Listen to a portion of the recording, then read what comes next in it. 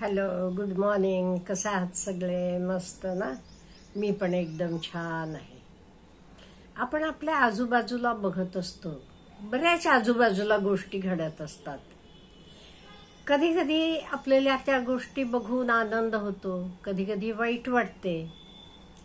कधी कधी हेतना आनंद करायचा का हे करायचं कोणाचं चुकते कोण बरोबर आहे हे कळत नाही. अशीच एक मनाला काय सांगू मी? मन हेलवून टाकणारी घटना आमचे घराजवळ एका कुटुंबाची घडली. मला वाटतं हे मी तुम्हाला सांगावं. तुमच्याही आजूबाजूला असं घडत असेल. हे कोण चुकलं? कोण बरोबर आहे? हे मला तर काही कळेन असं झालेलं आहे. आमच्या घराजवळ का नाही एक गणपतीचं देऊळ आहे. ते देवळात एक पुजारी आहेत. अतिशय सज्जन माणूस अतिशय चांगला माणूस. कोणाला हवं तरी मदत करणारा. अगदी कष्टानं वर आलेला लहानपणीचे आई वडील गेलेले. त्यामुळे कसं बसं देवळात पूजा करून आपलं कुटुंब चालवायला लागलेले. खूप चांगला मात्र अतिशय रिलायबल माणूस. सगळ्यांचं चांगलं भलं विचार करणारा माणूस अशी व्यक्ती आहे. पुढे त्यांचं लग्न झालं त्यांना एक मुलगा झाला. मुलगा खूप खूप शाणा खूप हुशार. शाळेत तरी वर्गात कायम पहिला नंबर स्कॉलरशिपमध्ये तेव्हा चौथी आणि सातवीला स्कॉलरशिप होती. तेथही त्याचा पहिला नंबर. खूप हुशार. कुठल्याही परीक्षेला जावं त्याचा नंबर पहिलंच असणार आहे. हा? पुढे तो आय आय टीला त्याला ॲडमिशन मिळाली. आय आय टी रुरकीला. तिथे बी टेक झाला. हा खूप अतिशय हुशारच होता मुळात. सगळे लोक म्हणायचे हे बघा देवाचं काम करतात. भटजी देवाचं काम करतात पुजारी. त्यामुळे किती छान मुलगा दिलाय त्यांना देवानं त्यांना किती छान गिफ्ट दिले. एवढा चांगला मुलगा एवढा हुशार मुलगा मिळणं म्हणजे खरंच नशीब लागते असं सगळे म्हणायचे. मुलगाही खूप चांगला वागायला चांगला बोलायला चांगला शांत स्वभावाचा अतिशय हुशार सगळं. झाल्यावर कॅम्पसमधनं त्याला अतिशय चांगलं पॅकेज असणारी नोकरी लागली. लागला पण तो नोकरीला जायला लागला. आणि आई वडील पण खूप आनंदी होते. वडील तर देवळात आलेले प्रत्येकाला सांगायचे असं असं मुलाला अमुक तिथे नोकरी लागली बघा आणि मिठाई द्यायचे. सगळ्या लोकांनाही बरं वाटलं एवढं छान माणूस एवढा चांगला वागणारा मुलाचं एवढं छान झालं. छान झालं. आता बायको पण म्हणायची आता त्याचंही लग्न करणार सुनबाई आणणार अमुक सगळं. एकदम छान चाललं होतं. तो एक जेमतेम वर्षभर नोकरी केला असेल एक दिवस अचानकपणे तो संन्यासी झाला.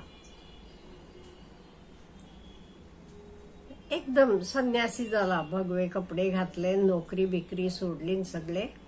जे पंथाला मी नाव घेत नाही का म्हणजे ओपनली कोणाचे आपण हे नको सांगायला.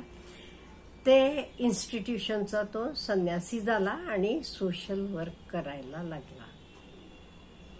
हे बघून वडील एकदम खचले आजारी पडले बेड रिडन झाले आणि थोडे दिवसात ते वारले सुद्धा.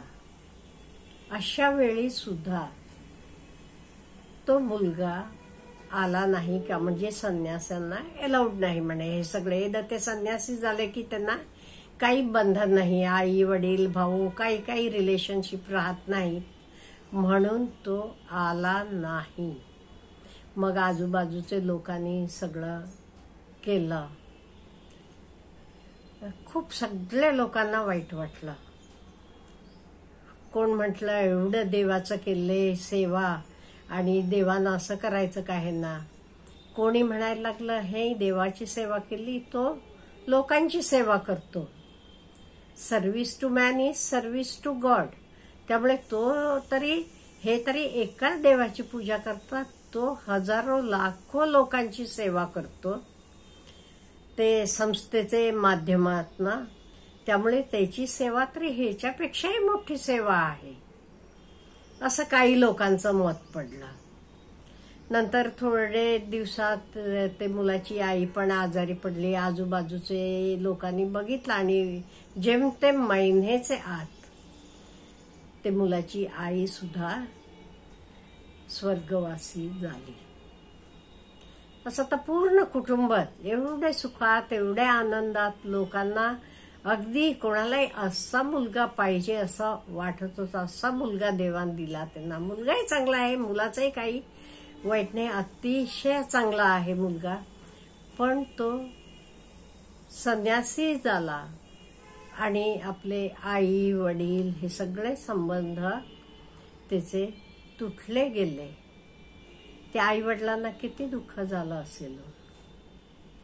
असेल ती जनसेवा तो करत असेल पण एक वडील म्हणून आपण त्यांचे जागी उभं राहिलो की आपल्याला काय वाटेल?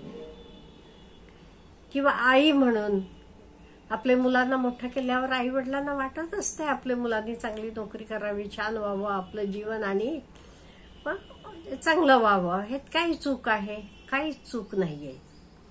आता बघायला गेलं की मुलाची चूक आहे म्हणता येईल का? नाहीये. त्याची आवड होती त्याला त्याचा आवड होते शेवटी त्याची इच्छा.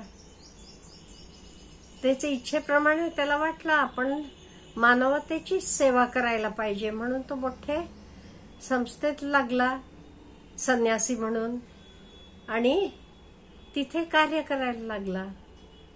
तसं नुसतं त्याच्याकडे बघितलं की त्याचं काही चूक आहे असं आपल्याला वाटत नाही. पण हा मुलगा आणि वडील हा संबंध आपण बघितले की वाईट वाटते आता कोणाचं चुकते कोणाला मी म्हटलं ना मला खरंच कळे ना आता दोन तीनच दिवस झाले हे घटनेला.